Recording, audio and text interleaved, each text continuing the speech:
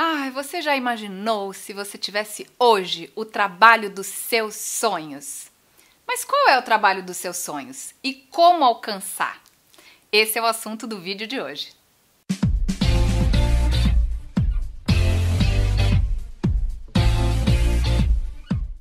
Olá, eu sou Patrícia Lages, especialista em finanças e autora do blog Bolsa Blindada.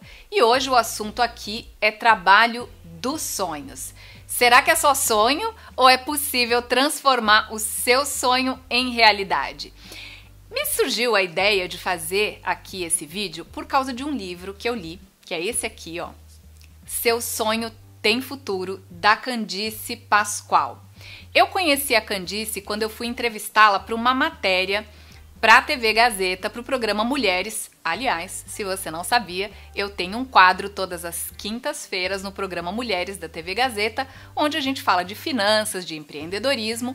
E nesse quadro eu entrevistei a Candice porque ela tem uma história de sucesso, ela é fundadora da Kikante, que é uma empresa de financiamento coletivo, e nesse livro ela conta como tirar o seu sonho do papel e ela prova página a página que o seu sonho, seja ele qual for, tem futuro. E aí ela dá uma série de dicas e baseada em algumas das dicas da Candice, eu preparei cinco passos para que o seu sonho se torne realidade. Vamos ver o primeiro?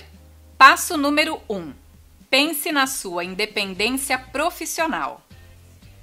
Recentemente saiu uma pesquisa que foi conduzida na Austrália que traz um dado muito alarmante que diz o seguinte: 60% dos jovens que estão entrando hoje no mercado de trabalho foram preparados para assumir vagas que daqui 10 anos, 15 anos no máximo, já não vão existir mais. Por conta da automação, por conta da tecnologia, muitos empregos que hoje existem no futuro simplesmente já não vão existir mais. E qual é a solução para isso? Empreender, criar a sua própria independência profissional. Talvez você nunca tenha pensado em trabalhar para si próprio, mas é uma boa hora para você começar a pensar nisso. Eu sei que dá aquele friozinho na barriga, que às vezes você não gostaria de ter que passar por isso, mas se você se preparar hoje, pode ser a resposta para uma condição futura que, se você estiver preparado, vai ser muito boa para você. Passo 2. Descubra o que é ideal para você. Para descobrir o que é ideal para você, basicamente é buscar uma resposta para a seguinte pergunta: Se você pudesse trabalhar em qualquer coisa que você quisesse, que coisa seria essa?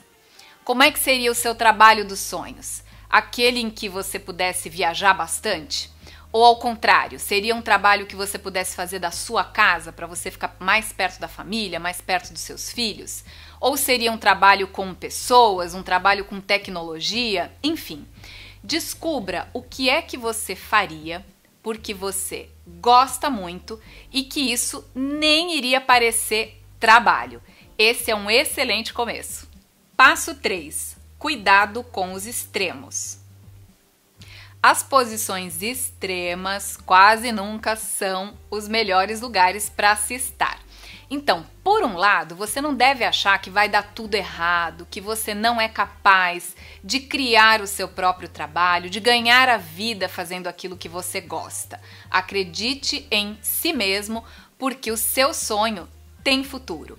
Por outro lado, você também não pode achar que você vai ser o criador de uma coisa tão sensacional quanto um Facebook.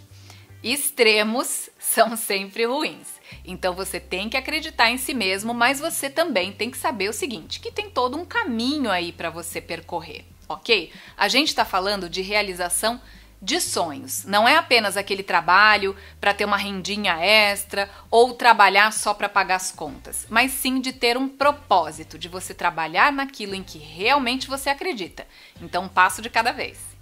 Passo 4. Um negócio de sucesso é o que resolve os problemas das pessoas. Você conhece lavador de arroz, não conhece? aquele utensílio simplesinho que tem em tudo quanto é cozinha, mas que resolve a nossa vida. Você sabia que foi uma brasileira, uma dentista, que inventou o lavador de arroz? Por quê? Porque ela queria resolver um problema. Ela trabalhava o dia inteiro no consultório e tinha uma empregada em casa que cada vez que ia lavar o arroz, derrubava arroz na pia, entupia a pia, tinha que chamar lá o desentupidor, era um problema. Tentando resolver o problema, ela começou a pensar em que seria a solução. E aí ela pegou uma baciazinha, colocou ali um coador, viu que aquilo funcionava, desenhou um protótipo, levou numa fábrica, conseguiu que o produto fosse fabricado e tá aí uma solução muito legal que todo mundo tem. Então, se você quer ter um negócio de sucesso, no que, que você tem que pensar? Em problemas. Quais são os problemas que você enfrenta? Será que não tem jeito aí de você bolar uma maneira de resolver esse problema? Quais são os problemas dos seus vizinhos, da sua comunidade, do pessoal lá no seu trabalho? Porque uma coisa que você tem que considerar é o seguinte: as pessoas literalmente pagam para não terem problemas. Então, se você criar solução para um problema, você vai ter um negócio de sucesso. Passo 5. Tenha muita paciência no início. O início geralmente é a parte mais difícil para quase tudo na vida. Então, o que, que você tem que fazer? Alinhar as suas expectativas. Lembra que eu falei dos extremos? Não é nem por um lado achar que tudo vai dar errado e nem por outro lado você achar que tudo vai dar super certo.